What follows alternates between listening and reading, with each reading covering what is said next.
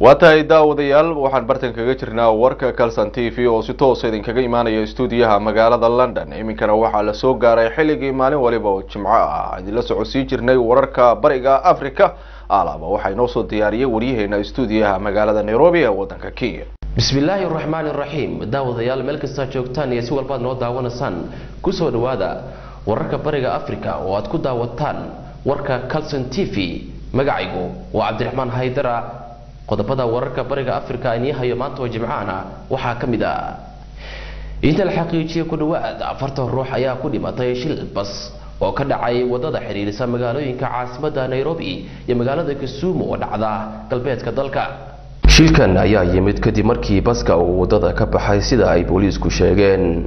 Dad badan ayaa la sheegay inay dhinteen markii uu baska dhinaca kale isku gadiyey booliiskuna waxay ka cabsi qabaan in dhimashadu ay intaasi ka sii badnaan karto iyadoo ay macquul tahay inay dadku ku hoos jiraan baska hoostiisa. Qof ka mid ah dadka deegaanka uu shilku ka dhacay ayaa sheegay qaybtii sare oo baska ay gooday duroolka uu xakaman waayey gaariga. Tirada dadka baska saarnaa waa konton iyo laba ruux sida ay sheegeen booliiska. Madaxweynihii hore ee dowla deegaanka soomaalida etoobiya master cabdi maxamuud cumar ayaa ka soo hormuuqday markii afraad. Maxkamad ku taala magaalada adis ababa ee xarunta dalka etoobiya dhegaysiga dacwadda ayaa dib loogu dhigay afar iyo toban cisho waxaana dacwadda ogayaasha ay maxkamaddu weydiisatay inay soo dhammaystiraan eedamaha loo haysto cabdi maxamuud cumar cabdi maxamuud cumar iyo xubnaha kale ee la xiran ayaa loo haystaa fal dembiyeedyo ka dhan ah biniaadatinimada wararka ayaa sheegaya in laga yaabo in dacwad ogayaasha ay sii dalban karaan muddo hor leh si ay u sii socoto maxkamadeynta cabdi maxamuud cumar.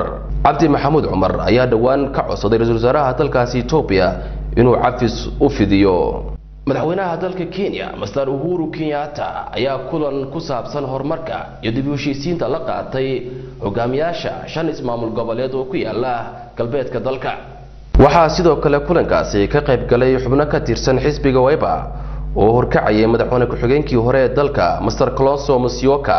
Master kenyatta ayaa siyaasiyiinta oo la kulmay kala hadlay sida la iskaga kaashan karo ka dhabaynta afarta waxyaabood ee ugu waaweyn ee maamulka jubbaland uu sheegay inuu xoogga saarayo ajadayaashan ayaa kale ah adeegyo caafimaad oo dhammaystiran wax soo saarka guriyeenta iyo la tacaalidda cunayarida kulankaasi ayaa sidoo kale diiradda lagu saaray la dagaalanka musmaasuqa iyo heshiiskii dhex maray raila odinga iyo master uhuru kenyatta sagaalkii bishii saddexaad ee sanadkan. Madaxda uu madaxweynaha casuumay waxaa ka mid ah madaxweyne ku-xigeenkii hore ee dalka awoori gudoomiyihii hore ee baarlamaanka kenneth murendi iyo mudanayaal hadda ka tirsan golaha qaran ee sharci dejinta moses watangula oo ka mid ah madaxda sarsare ee ururweynaha mucaaradka nasa ayaa masar kiyata u xaqiijiyey inay dowladda kala shaqayn doonaan horumarinta waddanka. Waa tahay daawadayaal gabagabadii wararka bariga africa ayaan isla soo gaarnay. Dagaalyahanno la rumaysan yahay inay ka tirsan yihiin ururka xarakada al-shabaab ayaa ku toogtay laba macalin oo kenyaan ah. Magaalada mandera ee gobolka waqooyi bari kenya. Sida ay sheegeen booliiska kenya macalimiintaasi ayaa geeriyooday. Kadib markii bamgacmeed lagu weeraray iskuul ay ku sugnaayeen oo lagu magacaabo arabia boys oo ku yaalla bartamaha magaaladaasi.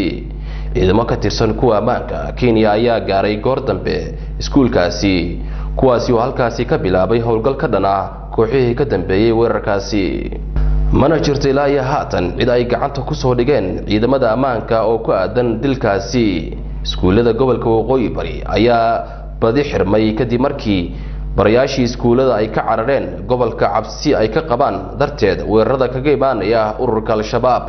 Inta badan al-shabaab ayaa sheegta mas'uuliyadda dilalka iyo weerarada ka dhaca gudaha dalka kenya gaar ahaan deegaanada dhaca xadka soomaaliya guud ahaan daawadayaal intaasaan ku soo afmeerayaa wararka bariga africa oo aad ka daawanayseen tv-ga kalson waxaan idinla socodsiinayay anigoo ah cabdiraxmaan haydara intaan warkaana war la mid ah aan ku kulmi doono daawadayaal waxaan idinkaga tegayaa.